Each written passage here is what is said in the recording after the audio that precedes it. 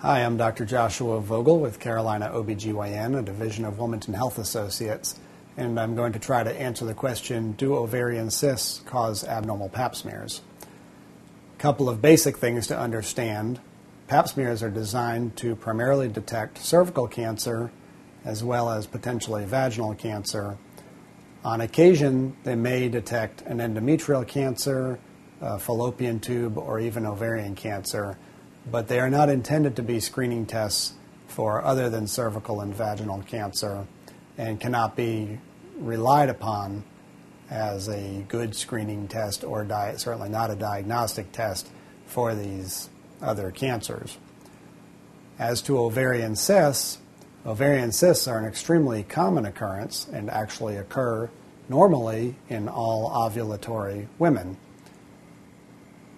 Sometimes an ovarian cyst can become or represent cancer, and I think that's really where the crux of the question that people ask lies.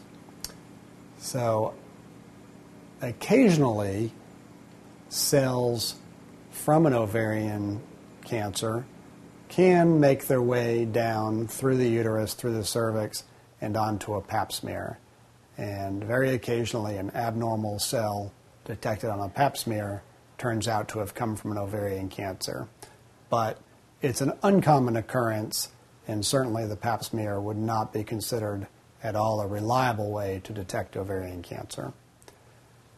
This has been a discussion of do ovarian cysts cause abnormal pap smears?